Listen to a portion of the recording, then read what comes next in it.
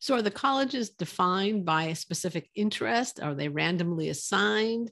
Yeah, really good question. And it's something that MBA students will frequently ask as well, because once you are admitted onto the MBA, you do have the opportunity to apply to become a member of a particular college, um, which a lot of students enjoy the process of researching and deciding to do.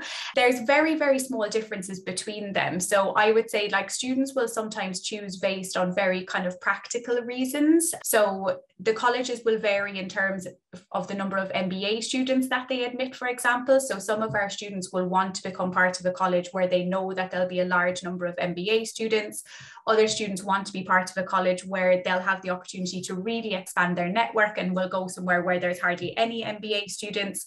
Sports is a big driver in terms of selecting colleges. So all colleges will have sports teams, but some colleges will maybe have a better reputation than others for performing well in certain sports. Right, right. So there'll be aspects like that as well. A lot of students will look to alumni. So they'll look at maybe famous people who have, you know, come through different colleges over the years. And the university obviously has quite a, a, an exciting, extensive range of alumni that it can boast to have. So if you think of, of somewhere like Christ Church College, for example, that's where Lewis Carroll was a lecturer and is, is apparently where he came up with the storyline for Alice in Wonderland.